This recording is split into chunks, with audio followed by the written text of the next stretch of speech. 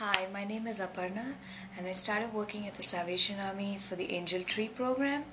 Um, I pretty much saw the, well, I did see the Angel Tree program from start to finish, um, starting from interviewing the folks that came in um, to entering data and then sorting through the gifts, um, finally distributing the gifts, which was definitely the best part of it all. Um, what I got to see firsthand is um, how the community comes together to serve those in need, and that is something that's always inspired me to be a better person. And so um, the angel tree definitely inspired me to um, do my best to help as much as I can.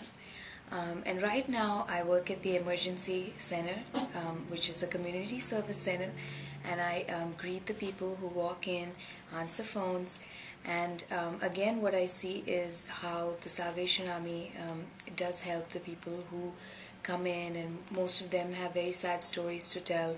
And when you see them leave with a smile on their face, it really does make a difference to your day. And um, that is why I absolutely love working for the Salvation Army.